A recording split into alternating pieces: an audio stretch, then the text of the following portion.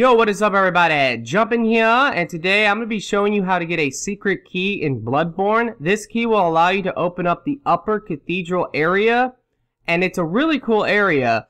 Now, to get the key, you need to go to the Unseen Village, and that is a little bit later in the game. There's two lamps there, one at the beginning and one in the middle. I recommend getting to the one in the middle, it's in the chapel area, and then you can go and get the key. Alright, so we're going to be starting from this second lamp that I talked about, and we need to run up this giant staircase. There is like this laser, so avoid it. It will only hurt you when it explodes, so just pay attention and it should blow up. There is a hole right here in the wall or the fence, and you can walk right off. Now this is where you will get the key. There's going to be a bell singing woman here. If you kill her, it will debuff all the enemies for you, because the enemies in this area will respawn if you do not kill these women. And they are also really strong enemies, but once she's dead, they're a lot weaker and they're easier to kill. Now that those enemies are dead, we can go ahead and pick up all the items. There is an item out on this balcony area. It's nothing too important, but definitely grab that. And this was the first time I jumped down here, so I'm just kind of looking around, trying to figure out how to get down to that item. Now, I seen the item originally when I was running around, and I was trying to figure out how do you get that item in this area because the door is locked. But this is how you do it, and there you go. That is the upper cathedral key. And now we can go ahead and open this up and get the hell out of here. Alright, so now we're back at the cathedral ward. And we're going to take the elevator up. If you remember, I showed that one secret area. And when I showed that, it was in this area. I call this area Gravity Tower, but it's really like the Healing Church or something like that. I don't remember, but there's another little secret I'm going to show you guys. If you take the elevator up, you can actually walk off right here. And this is some pretty cool stuff you can get.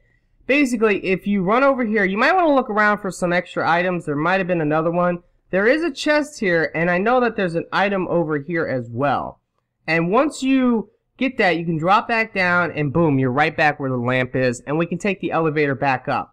So I'm going to speed this up because I'm going to run past all the enemies in this area and we're going to get to the top where we can open the door. A lot of people were wondering, how in the world do you open this door? Well, this is the way you do it. You get the key at the Unseen Village and then you can run back here. And the area that we're going to is actually really freaking cool. I'm not going to show the whole area because I'm going to leave that up to you. I don't want to spoil anything. I'm just trying to show you how to get access to the area. But yeah, the area is badass. I have done it for my Let's Play but I'm not going to do it in this video. There's a couple enemies here. I'm going to pick up all their stuff because I want them bullets. And here we go. We're going to open up the door and we're going to check this out. Now there is a lamp here right away, so I'm going to make my way to the lamp. And I'm also going to be looking around slightly because this is the first time I ever came here. I just didn't want to miss anything.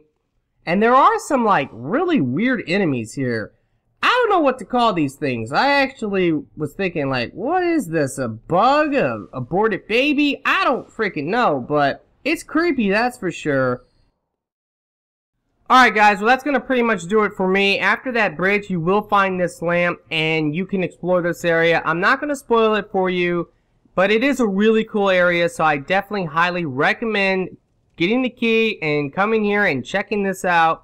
Anyway, I really hope this video has helped you out. If it has, will you please like the video for me? Be sure to subscribe for future Bloodborne content. And I really do hope that everyone has a very nice day and peace out.